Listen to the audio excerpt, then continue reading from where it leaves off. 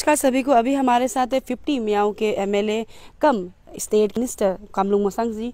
आज हमसे इसीलिए मिल रहे हैं क्योंकि उनका जो मियाओ टू विजयनगर का रोड काफ़ी सालों से नहीं बना है। साथ ही साथ कह सकते हैं वो जो विजयनगर है वो एक इंटरनेशनल बॉर्डर भी शेयर करता है। तो कल जैसे कि चौनामैन जो फाइनेंस मिनिस्टर भी है, साथ ही साथ अरुणाचल के डिप्यूटी चीफ मिनिस्टर भी हैं तो उनके साथ में बात हुआ। तो क्या बात हुआ और म्याओ टू जो विजयनगर है, कब तक रोड बनेगा, सर से जानते हैं। चलिए।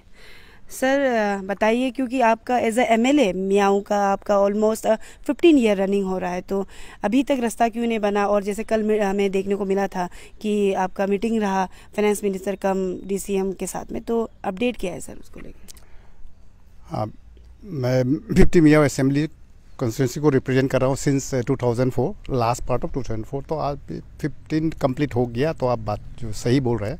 लेकिन एम रोड का हिस्ट्री ऐसा है कि 2004 में जब मैं इलेक्टेड हो गया तो उसका बाद में हमने प्रोसेस स्टार्ट किया था सर्वे इन्वेस्टिगेशन 2008 में। तो उसका बाद में प्रॉब्लम था मेन इशू था वो Namdapha national park total road length Miao to Vijaynagar is 157 kilometre as per record out of which one hundred eleven या ट्वेल्व किलोमीटर्स वो नेशनल पार्क का अंदर में आता है नाम दफ़ा नेशनल पार्क। तो उसका जो फॉरेस्ट क्लियरेंस इन्वायरमेंटल क्लियरेंस का ही मेजर इशू था।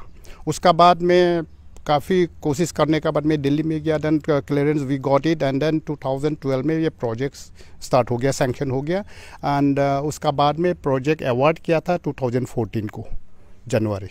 तो सर, अभी जैसे कल मीटिंग हुआ तो as a M L A वहाँ के रिप्रेजेंटेटिव होने नाते आप वहाँ के लोगों को क्या एश्योर कर पाओगे कि कब तक जो मियाओ टू जो विजयनगर का रोड कंप्लीट होगा? क्योंकि हम, खबर मिलता है कि वहाँ पे जो जो सिंपल सा नमक का भी सो का, सो पे बिकता है तो कब तक कंप्लीट होगा? वहाँ के लोगों का आप कहना चाहेंगे?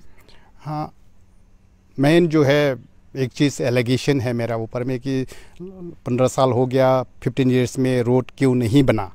लेकिन ये रोड एग्जिस्टिंग जो है, वो हम एमएलए बनने से बहुत साल पहले से ही है। 62 61 में डिस्कवर किया देन उसका बाद में मोस्ट प्रोबेबली 65 से रोड कंस्ट्रक्शन किया होगा and the road was inaugurated by late K A Raja इन 1972 होगा। मोस्ट प्रोबेबली 71 और 72 तो उसका बाद में इतना साल तो हम तो नहीं था, कोई सरकार तो चल रहा था उसी समय में भी।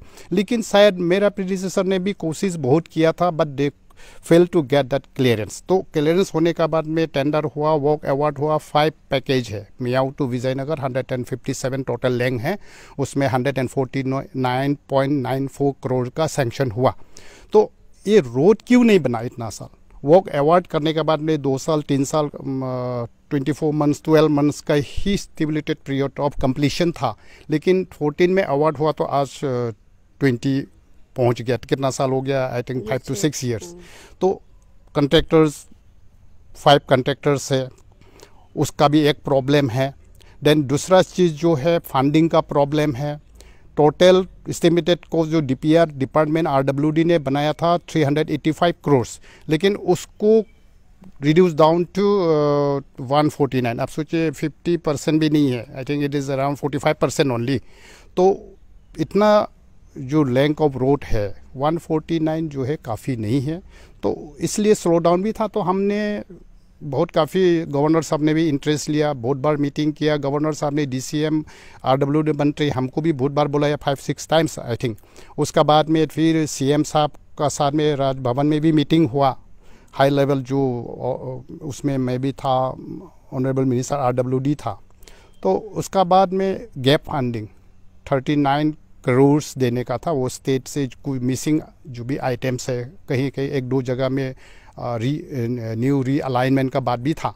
तो उसको लेकर के सरकार ने भी एग्री किया कि गैप फंडिंग 39 करोड़ देगा। फिर गवर्नर साहब ने भी काफ़ी मदद किया। तो नेसित से भी 6.23 करोड़ जो एमपेन नाला है, उसमें भी ब्रिज बनाने के लिए 60 मीटर्स एंड देन अदर जो मिसिंग आइटम था, उस पोर्शन में।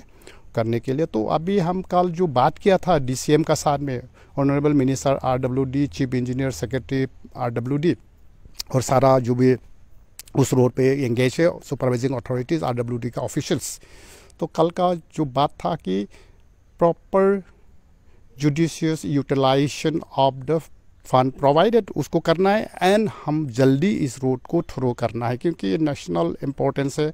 विजयनगर जो इंटरनेशनल बॉर्डर में है तो स्ट्रेटेजिक लोकेशन है, इसके लिए हम कोशिश कर रहे हैं, और we are targeting to complete that road by the end of 21 हमारा टारगेट तो तो सर एज अभी हम लोग कह सकते हैं एज ए रिप्रेजेंटेटिव मियाओ कि by 21 2021 Yes. Miao to Vijaynagar Vijay to Nagar to Miao आराम से रास्ते पे जा सकते हैं। जा सकता है वही हम कोशिश कर रहे हैं। Ji sir thank you so much thank you